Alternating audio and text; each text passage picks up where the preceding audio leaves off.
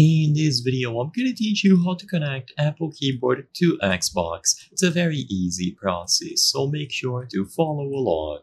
Regardless of which console you have, a new gen Xbox Series S or X or an old gen Xbox One, you can easily connect and use your Apple keyboard on the Xbox. The Apple keyboard, also known as the Magic Keyboard, is primarily connected to devices over Bluetooth. So as soon as you power it on by switching this toggle into this correct position where you can see the green background, it would go into Bluetooth and start searching for nearby devices. However, the difficulty with this is that for whatever reason, Xbox does not support Bluetooth devices. So the only method that you have to connect an Apple keyboard to your Xbox console is through a cable. It is unfortunate because using Bluetooth would be very convenient, you would be able to do it wirelessly, but like I said, because Xbox consoles do not have support for Bluetooth accessories like keyboards, you will have to use the proper cable.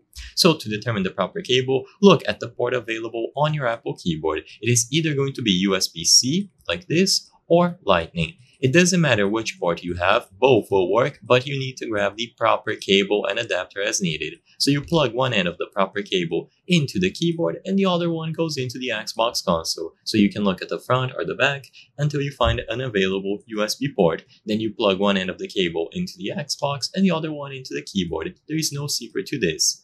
Like I said before, if you need to, grab a lightning cable instead. Most modern models should be USB-C, but of course, some of you will have different ports available and you just use the proper cable to get the connection established. As long as you connect the Apple keyboard directly to any of the ports available on the Xbox, you will be good to go. I hope I was able to help you on how to connect Apple Keyboard to Xbox. If this video helped you, please be sure to leave a like and subscribe for more very easy tips. Thank you for watching. Mm.